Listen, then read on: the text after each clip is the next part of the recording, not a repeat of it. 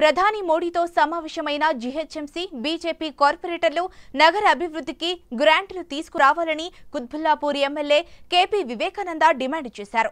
నగరాభివృద్ధి కోసం బీజేపీ కార్పొరేటర్లు మోడీతో ఏం మాట్లాడారో చెప్పాలన్నారు.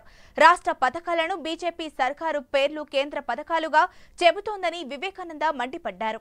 భారతదేశాన్ని మరి తప్పుదో పట్టించే విధంగా ప్రధానమంత్రి నరేంద్ర మోడీకి వెళ్ళి స్టార్ట్ చేస్తే వారి కేంద్ర మంత్రులు వారి ఎంపీలు రాష్ట్రంలో వాళ్ళ ఎమ్మెల్యేలు. కేవలం తప్పుడు ప్రచారాలపైనే ఆధారపడి మరి ముందుకు వస్తా ఉన్నారు. జేపీ నడ్డా గారు పక్క రాష్ట్రంలో ఏపీ రాష్ట్రానికి మరి వెళ్ళినప్పుడు వారు ఏమన్నారంటే ఆయుష్మాన్ భారత్ ఉన్న పథకాన్ని పేరు మార్చి ఆరోగ్యశ్రీ పెట్టు ఆరోగ్యశ్రీ పెట్టుకొని నడిపిస్తారని చెప్పారు అంటే ప్రజలందరూ కూడా నవ్వుకుంటా ఉన్నారు. హాస్యాస్పదం అయిపోయింది అంతా కూడా. చరిత్రని వక్రీ వక్రీకరించడం వారికి ఎట్లా అవసరం ఉంటే దాన్ని దాన్ని మలుచుకోవడం కూడా ఈ బీజేపీ నాయకులు వెన్నుతో పెట్టిన విద్య. ఎనిమిది సంవత్సరాల తర్వాత తెలంగాణ రాష్ట్రం గుర్తొచ్చింది. ఈ నాయకులకి ఎవరైతే బ్లాక్ డే అనే నాయకులు ఉన్నారో కేంద్ర మంత్రి హో మరి అమిత్ షా గారు వారే స్వయంగా వచ్చి మరి పాల్గొనడం జరిగింది. పాల్గొంటే పాల్గొనని కానీ అల్లూరి సీతారామరాజు వచ్చి తెలంగాణ కోసం తెలంగాణ యువత తెలంగాణ తెలంగాణ కోసం పోరాటం చేస్తుందని చెప్పి మాట్లాడుతున్నారంటే వారికి ఎట్లా అనుకూలం ఉంటే దాన్ని మలుచుకునే ప్రయత్నం చేయడానికి అదొక నిదర్శనం. ఇక నరేంద్ర మోడీ ప్రధానమంత్రి గురించి చెప్పాలంటే ఇక వారు హైదరాబాద్ వచ్చినప్పుడు మొన్న ఏం మాట్లాడాడు అసలు? అన్ని అబద్ధాలే.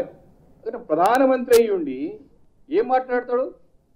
కేంద్ర పథకాలన్నింటినీ కూడా పేరు మార్చి రాష్ట్రంలో అమలు చేసుకుంటూ రాజకీయాలు చేస్తా ఉన్నది అని చెప్పి ప్రధానమంత్రి నరేంద్ర మోడీ గారు ఆ రోజు మాట్లాడతారు.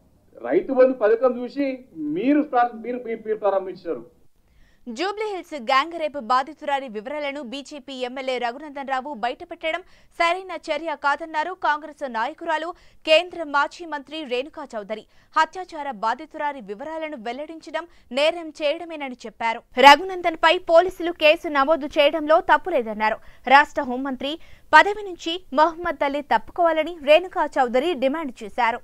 That action has been taken against Advocate Raghunandan Rao. ఈ ఐదుగురు పిల్లలు ఒక వెహికల్లో వాళ్ళు ఉన్నారు మరి రెండో బండి నడిపింది ఎవరు? ఈ వెహికల్ని ఎవరు తీసుకొచ్చారు? ఆ బండిలో ఎంతమంది ఉన్నారు? ఆ బండిలో ఈ నేరం జరుగుతూ ఉంటే ఈ బండి వాళ్ళు మాత్రమేనా? ఆ బండిలో వాళ్ళు కూడా పాల్గొన్నారా?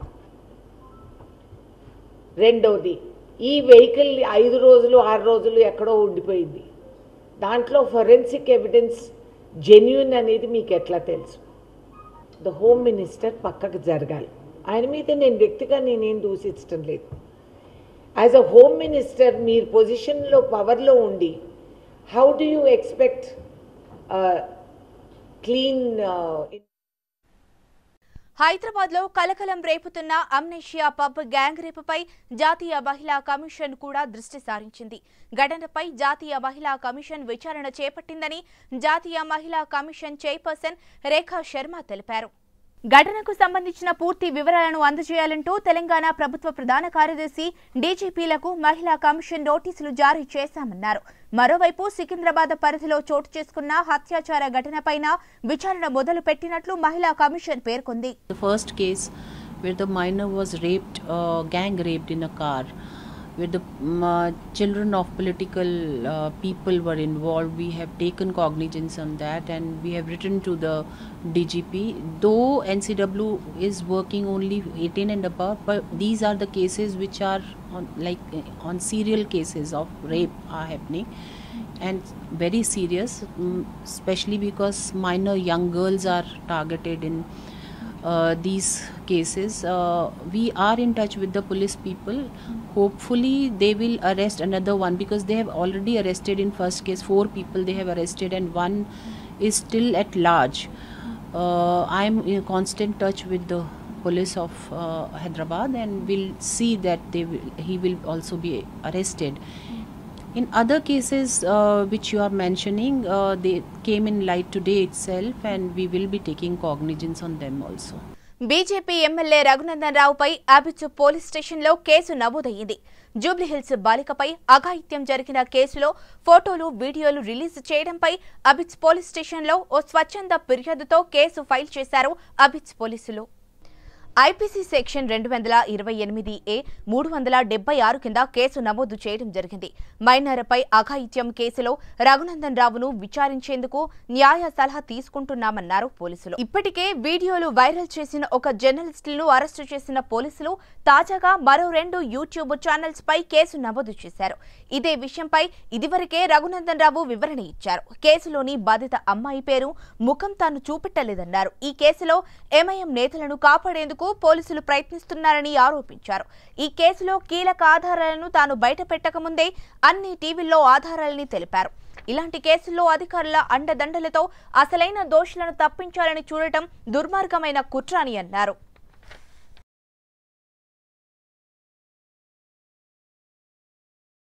తెలంగాణ రాష్ట్ర రాజధానిలో రోజుకో హత్యాచారం వెలుగు చూస్తోంది. నగరంలో సంచలనంగా మారిన జూబ్లీహిల్స్ హత్యాచార ఘటన మరొక ముందే నెక్లెస్ రోడ్లో మరో దారుణం చోటు చేసుకుంది. నెక్లెస్ రోడ్డులో కారులో మైనర్ బాలికపై అత్యాచారం జరిగిన ఘటన ఆలస్యంగా వెలుగులోకి వచ్చింది. బర్త్డే పార్టీకి పిలిచి బాలికపై ఇద్దరు బలాత్కరించారు. బర్త్డే పార్టీ చేసుకుందామని బాలికను నమ్మించి కారులో సురేష్ అనే వ్యక్తి అత్యాచారానికి ఒడిగట్టారు. బాధితురాలి ఫిర్యాదు మేరకు నిందితుడు సురేష్ని పోలీసులు అరెస్టు చేశారు. బర్త్డే పార్టీలు ఇతర పార్టీల నేపథ్యంలో అమ్మాయిలు మోసపోవద్దని జాగ్రత్తగా ఉండాలని పోలీసులు హెచ్చరించారు. మరొక వెయ్యి నాలుగు వందల ముప్పై మూడు ఉద్యోగాల భర్తీకి తెలంగాణ ఆర్థిక శాఖ పరిపాలన అనుమతులను ఇచ్చింది. మున్సిపల్ పంచాయతీరాజ్ శాఖల్లో ఖాళీల భర్తీకి ఆమోదం తెలిపింది. మొత్తం భర్తీ చేసే ఉద్యోగాల్లో ఆరు వందల యాభై ఏడు ఏఈఈ నూట పదమూడు ఏఈ పోస్టులే ఉండడం గమనార్హం. వీటితో పాటు హెల్త్ అసిస్టెంట్లు శానిటరీ ఇన్స్పెక్టర్లు టౌన్ ప్లానింగ్ సిబ్బంది అకౌంటెంట్ జూనియర్ అసిస్టెంట్ ఎన్ఎస్ఓ తదితర పోస్టులను తెలంగాణ పబ్లిక్ సర్వీస్ కమిషన్ ద్వారా భర్తీ చేయనున్నారు. తాజాగా మున్సిపల్ పంచాయతీరాజ్ శాఖల్లో పద్నాలుగు వందల ముప్పై మూడు పోస్టుల భర్తీకి ఆర్థిక శాఖ ఆమోదం తెలపడంతో మొత్తం ముప్పై ఐదు వేల రెండు వందల ఇరవై పోస్టులకు అనుమతి ఇచ్చినట్లు తెలిసింది. ఇక వైద్య ఆరోగ్య శాఖలో పన్నెండు వేల ఏడు వందల ఐదు ఉద్యోగాలను విడతల వారీగా భర్తీ చేయాలని ప్రభుత్వం నిర్ణయించింది. అందులో పదివేల ఇరవై ఎనిమిది ఉద్యోగాలను మెడికల్ రిక్రూట్మెంట్ బోర్డు ద్వారా భర్తీ చేయనున్నారు. దళిత బంధు పథకంతో దళిత కుటుంబాలు అభివృద్ధి చెందుతున్నాయన్నారు రాజేంద్రనగర్ ఎమ్మెల్యే ప్రకాష్ గౌడ్.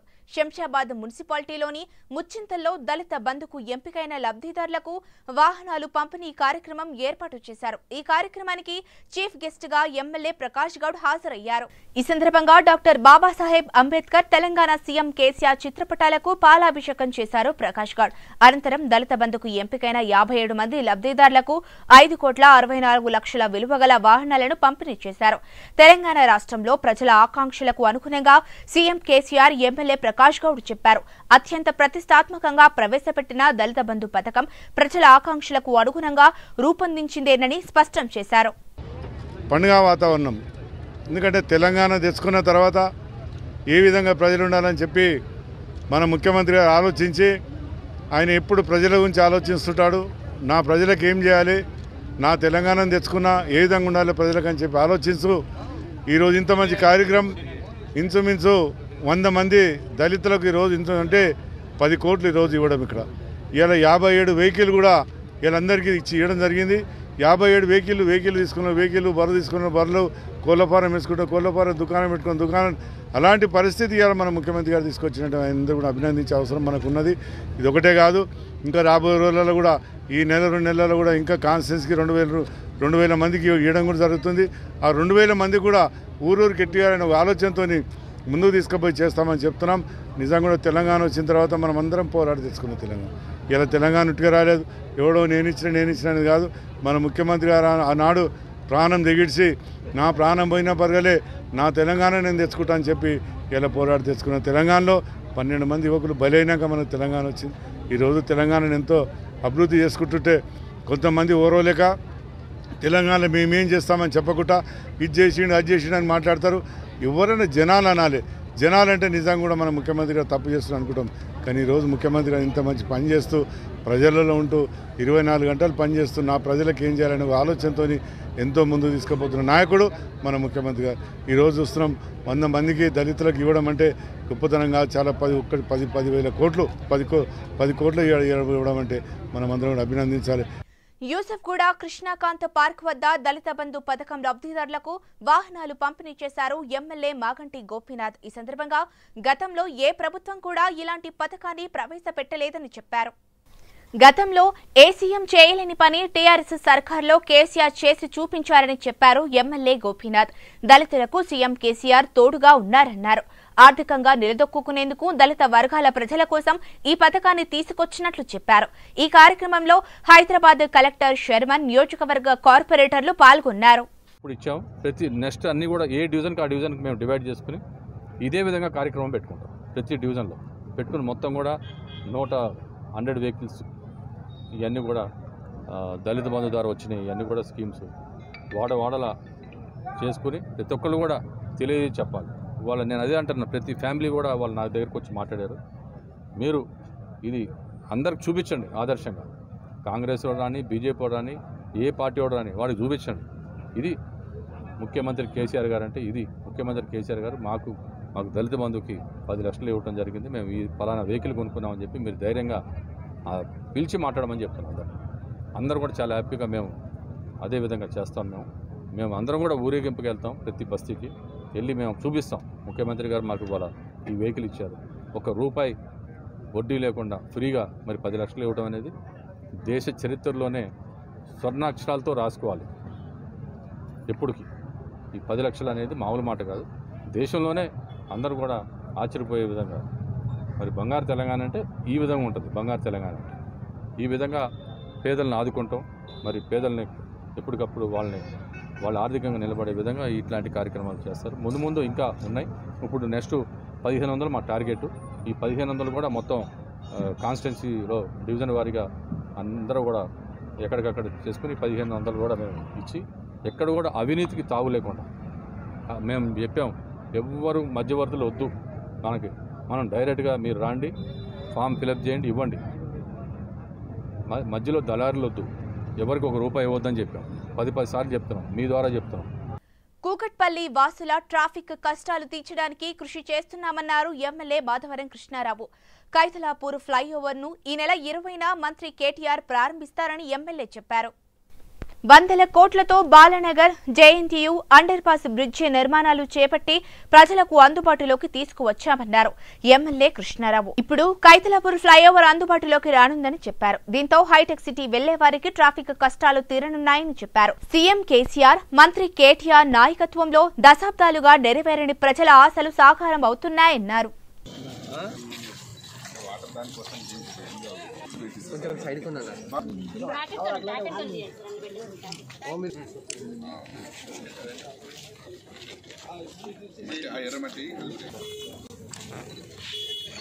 బడంపేట మున్సిపల్ కార్పొరేషన్లో మేయర్ పారిజాత నరసింహారెడ్డి పర్యటించారు. వివిధ కాలనీలకు చెందిన కమిటీ సభ్యులతో సమావేశం నిర్వహించారు. పట్టణ ప్రగతిలో భాగంగా కాలనీ వాసుల సమస్యలను అడిగి తెలుసుకున్నారు. తక్షణమే సమస్యలను పరిష్కరించాలని అధికారులకు సూచించారు. మేయర్ పారిజాత నరసింహారెడ్డి. ఈ కార్యక్రమంలో డిఈఈ అశోక్ రెడ్డి కార్పొరేటర్లు ఏనుగు రామరెడ్డి ముత్యాల లలితకృష్ణ దడిహ శంకర్ తదితరులు పాల్గొన్నారు. పట్టణ ప్రగతిలో భాగంగా వివేకానంద నగర్ డివిజన్ వెంకటేశ్వర్ నగర్లో స్థానిక నాయకులతో కలిసి corporator Madhavaram Rojadevi CC road పనులను ప్రారంభించారు. ముప్పై ఐదవ బ్లాకులో వడ్డేపల్లి ఎన్క్లేవ్ దగ్గర సీసీ రోడ్డు పనులను కార్పొరేటర్ పరిశీలించారు. ఈ సందర్భంగా పట్టణ ప్రగతిలో చేపడుతున్న పనులపై మరింత దృష్టి సారించాలన్నారు కార్పొరేటర్ రోజాదేవి. సీసీ రోడ్డు పనులను ప్రజలకు వాహనదారులకు ఇబ్బంది కలగకుండా త్వరగా పూర్తి చేయాలని ఏఈకి సూచించారు. ఈ కార్యక్రమంలో ఏఈ స్వప్న డివిజన్ అధ్యక్షులు సంజీవరెడ్డి ఆంజనేయులు తదితరులు పాల్గొన్నారు. నాంపల్లిలోని ఎక్సైజ్ కార్యాలయాన్ని కాంగ్రెస్ ఫిషర్మెన్ కమిటీ నాయకులు ముట్టడించారు. TPCC fishermen committee chairman Mettu Sai ఆధ్వర్యంలో కాంగ్రెస్ నేతలు ముట్టడించారు. దీంతో పోలీసులు ఆందోళనకారులను అరెస్టు చేశారు. మెట్టు సాయి కుమార్తో పలువురు నేతలను గోషియామహల్ పిఎస్కు తరలించారు పోలీసులు. ఈ సందర్భంగా రాష్ట్ర ప్రభుత్వంపై నిప్పులు చెరికారు కాంగ్రెస్ నేతలు. తెలంగాణను కేసీఆర్ తాగుబోతుల రాష్ట్రంగా మార్చారన్నారు మెట్టు సాయి కుమార్. మద్యం వల్లనే రాష్ట్రంలో అత్యాచారాలు పెరిగాయని ఆరోపించారు. కేసీఆర్ పాలనలో విచ్చలవిడిగా మద్యం షాపులు పెరిగాయని దీంతో మైనర్లు కూడా మద్యానికి బానిసలవుతున్నారని మండిపడ్డారు. మైండంతో రాజ్యాంగం పెట్టుకున్న కేసీఆర్ గారు మీరు ఇట్లా బార్లకు మీరు మంది వేయడం వల్ల యువత మొత్తం తెలంగాణ రాష్ట్రం మొత్తం తాగుబోతు తాగుబోతు పాలనగా ఏర్పడుతుంది. కావున మీరు మీరు యువతకి తెలంగాణ తెలంగాణ రాష్ట్రంలో ఉన్నటువంటి యువతకు మొత్తము ఈ మందు మంచు వల్ల మద్యం మద్యం వల్ల రాష్ట్రం యువత అంతా భవిష్యత్తు అంధకారంలో ఉంటుంది. కావున మీరందరూ తెలంగాణ రాష్ట్రంలో ప్రతి ఒక్క యువత వాళ్ళ భవిష్యత్తు కోసం వాళ్ళ భవిష్యత్తు కోసం మీరు ఇలాంటి పప్పులు పార్లు ఓపెన్ చేయడం వల్ల మీరు రాష్ట్ర భవిష్యత్తు? తెలంగాణ రాష్ట్రం అంటే ఇదేనా? మందు పాలు పప్పు ఇదేనా చెప్పండి.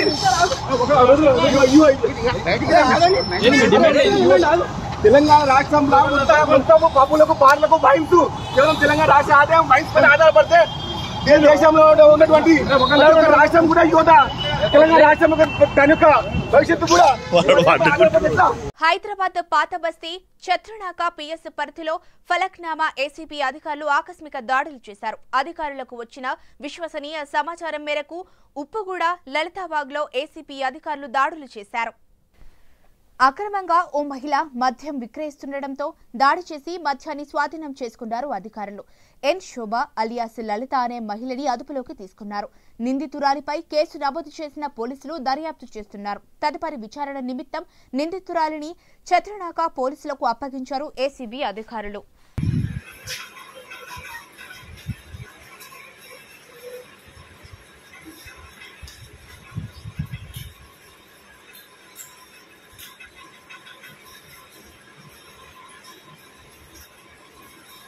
ఆర్టీసీ బస్సు డ్రైవర్ నిర్లక్ష్యానికి నిండు ప్రాణం బలైన ఘటన కూకట్పల్లి కేపీహెచ్పీలో చోటు చేసుకుంది.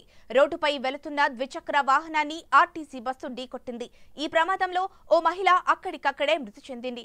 ఘటనా స్థలానికి చేరుకున్న పోలీసులు ప్రమాదంలో గాయపడిన వారిని ఆసుపత్రికి తరలించారు. కేపీహెచ్పీ కాలనీలో కామేశ్వరరావు శ్రవంతి దంపతులు నివాసముంటున్నారు. అనారోగ్య సమస్యలతో శ్రవంతి ఇవాళ మధ్యాహ్న సమయంలో హైదర్నగర్లోని రెయిన్బో హాస్పిటల్కు బైక్పై వెళ్తుండగా కోర్టు నుంచి పటాన్చెరు వైపు వెళ్తున్న బస్సు శ్రవంతి వాహనాన్ని ఢీకొట్టింది. దీంతో మహిళ తలపై నుంచి బస్సు వెళ్ళగా ఆమె అక్కడికక్కడే మృతి చెందింది. మృతురాలికి మూడు నెలల పాప ఉంది. ఈ ఘటనపై కేసు నమోదు చేసుకున్న పోలీసులు దర్యాప్తు చేస్తున్నారు. మైనర్ అమ్మాయిని పెళ్ళి చేసుకుంటానని నమ్మించి ఓ ప్రబుద్ధుడు నయవంచన చేశాడు. ఈ ఘటన రంగారెడ్డి జిల్లా మీర్పేట పిఎస్ పరిధిలోని బడంగ్పేటలో చోటు చేసుకుంది. బాలాపూర్ గ్రామంలో నివసించే సతీష్ బడంగ్పేటకు చెందిన అమ్మాయిని వివాహం చేసుకుంటానని చెప్పి నమ్మించాడు. అనుకున్న దాని ప్రకారం పెళ్ళి చేసుకుందామని సతీష్ తన స్నేహితులతో కలిసి యువతిని తీసుకెళ్ళారు. దీంతో అమ్మాయి తల్లిదండ్రులు మీర్పేట పోలీసులకు ఫిర్యాదు చేశారు. కేసు నమోదు చేసుకున్న పోలీసులు మూడు బృందాలుగా ఏర్పడి దర్యాప్తు చేస్తున్నారు. రెండు వారాలుగా యువతి ఆచూకీ లభ్యం కాలేదు. అటు బాధితురాలి తల్లిదండ్రులు తమ కూతురిని ప్రాణాలతో తీసుకురావాలని పోలీసులకు విజ్ఞప్తి చేశారు. మాకు కంప్లైంట్ ఇవ్వడం జరిగింది. కంప్లైంట్ తీసుకోగానే ఇమీడియట్గా మేము కిడ్నాప్ కేసు కింద మైనర్ అమ్మాయి కాబట్టి కిడ్నాప్ కేసు కింద కేసు నమోదు చేసి ఇన్వెస్టిగేషన్ చేయడం జరిగింది. గతంలో కూడా ఆ అమ్మాయి రెండు వేల ఇరవై సంవత్సరంలో అతనికి ఆమె పరిచయం ఉన్నటువంటి సతీష్ అనే అబ్బాయితో ఎలుపుకోవడం కావడం అనేది జరి జరిగింది. తర్వాత కూడా కంచన్బాగ్ పోలీస్ స్టేషన్ వాళ్ళు వారిని ట్రేస్ చేసి అతనిపై రేప్ మరియు పోక్సో చట్టం కింద కేసు నమోదు చేసి రిమాండ్కు తరలించడం జరిగింది. తిరిగి ఈ రెండు వేల ఇరవై రెండో సంవత్సరం పదహారు ఐదున కూడా అదే అబ్బాయితో ఆ అమ్మాయి వెళ్ళినట్లుగా మేము సస్పెక్ట్ చేస్తూ ఉన్నాము దానికి సంబంధించినటువంటి టెక్నికల్ ఎవిడెన్స్ అదేవిధంగా కొందరు ఆ అబ్బాయికి సంబంధించినటువంటి ఫ్రెండ్స్ అందరినీ కూడా మేము ఎగ్జామిన్ చేయడం జరిగింది. కొంచెం టెక్నికల్గా మాత్రం ఆ కేసులో ఇంప్రూవ్మెంట్ ఉంది. అది బలవంతంగా జరిగిన కిడ్నాప్గా మాత్రం మేము భావించడం లేదు. అమ్మాయి కొంచెం ఇష్టంతో వెళ్ళినట్టుగానే మేము భావిస్తూ ఉన్నాం కాబట్టి అతి త్వరలో ఈ కేసును ఛేదిస్తామని చెప్పి అమ్మాయిని కూడా తీసుకొని వస్తామని చెప్పి మీడియా ముఖంగా నేను తెలియజేస్తా ఉన్నాను